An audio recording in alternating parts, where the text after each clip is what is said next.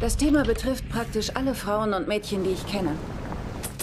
Ich war nicht groß genug, ich war nicht dünn genug, ich war nicht blond genug, ich war einfach nie genug. Jahrelang hat die Gesellschaft Frauen eingeredet, dass sie schön sein müssen. Als wäre das das Wichtigste, was sie sein können. Nachdem ich drei Kinder bekommen hatte, hasste ich meinen Körper. Also trainierte ich wie verrückt. Und dann stand ich da, in meinem perfekten Körper und war unglücklich. Zu viel Zeit, zu viele Opfer, zu viel Besessenheit. Und das ist es einfach nicht wert.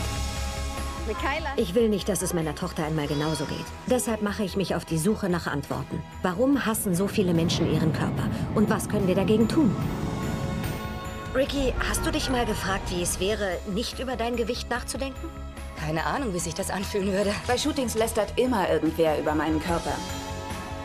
Ich litt unter Depressionen, weil ich meinen Körper hasste. Niemand sollte sich zu Tode hungern müssen, nur um so auszusehen wie ein Frauenmagazin. Das Thema war viel größer, als ich jemals gedacht hätte. Als ich ein Vorher-Nachher-Foto auf Facebook postete, brach ein Sturm los. Sie zieht sich nackt aus, um Frauen zu ermutigen, ihren Körper wertzuschätzen.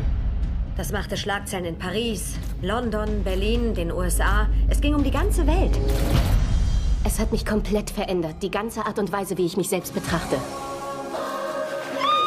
Mein Körper ist kein Schmuckstück, sondern ein Instrument. Es geht im Leben nicht darum, sich selbst zu quälen, weil man nicht die Figur hat, von der die Medien einem permanent sagen, dass man sie haben muss. Du öffnest deine Arme, um andere zu umarmen. Für mich war das Gold wert. Mein geliebtes Mädchen, verschwende keinen einzigen Tag deines Lebens damit, Krieg gegen deinen Körper zu führen. Umarme ihn.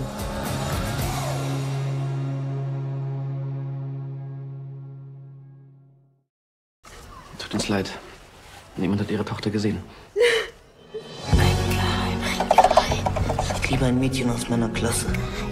Svenja.